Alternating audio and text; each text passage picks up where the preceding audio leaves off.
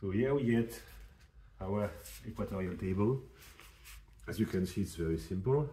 A T-shaped uh, rotating plate, a motor to uh, perform the actuation of the table, some rollers, a rotula there.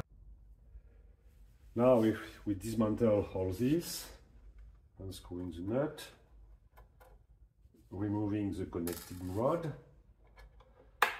You can see that it is really, really free in rotation. The design itself is simple.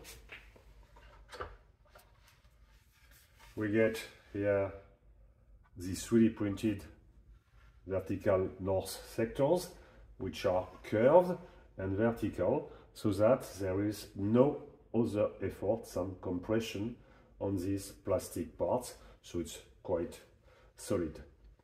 You see here the south ball bearing, which is a spherical uh, joint that will be inserted in this pod and this part is uh, you can screw or unscrew this this nut in order to trim the height of the uh, south uh, bearing. Here you get some rollers and the motor. You see the orientation south north. And if I place back this here clack it will exactly fit on the rollers. Again no friction. It comes back to its neutral position vertical one uh, only by gravity here. I connect back my connecting rod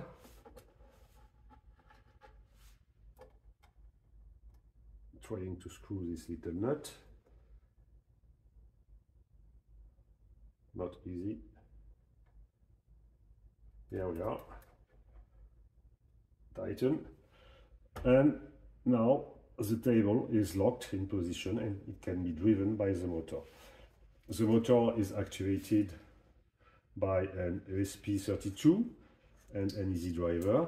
Well, this is a floating uh, dirt installation and the power comes from a 3S LiPo battery which is enough to drive the motor.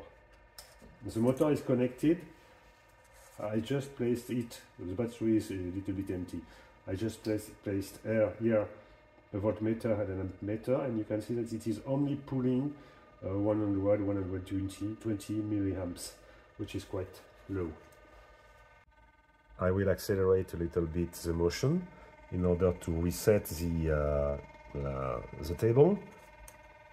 Let's assume that I push one button and you can see the acceleration of the motor which is now rotating the opposite way and you see here the full speed motion in order to home the, uh, the table in direction to the east.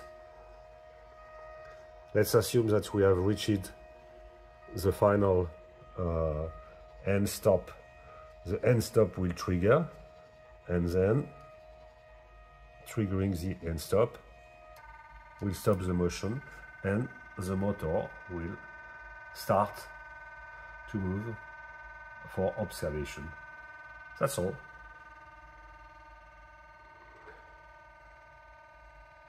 Uh, what we can do now is uh, placing on top of this uh, the, uh, all the elements of the telescope.